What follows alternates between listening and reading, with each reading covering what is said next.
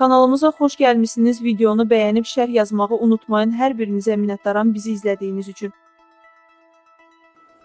Sovet ve Estonya tiyatr, kino ve televizya aktyoru Evald Avik vefat edip.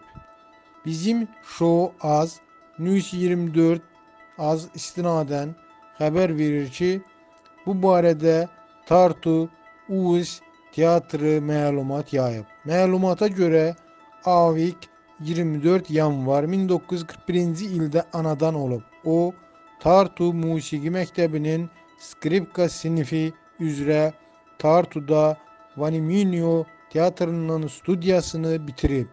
Aktyor Anapada keçirilən Kinoşok Beynəlxalq Kino Festivalının Georges filmində ən yaxşı aktyora Fransanın Rouen şəhərində keçirilən Beynəlxalq Kino Festivalının ən yaxşı aktyor mükafatını və Minskdə keçirilən Beynəlxalq Kino Festivalının ən yaxşı kişi roluna görə mükafatla təltif edilib.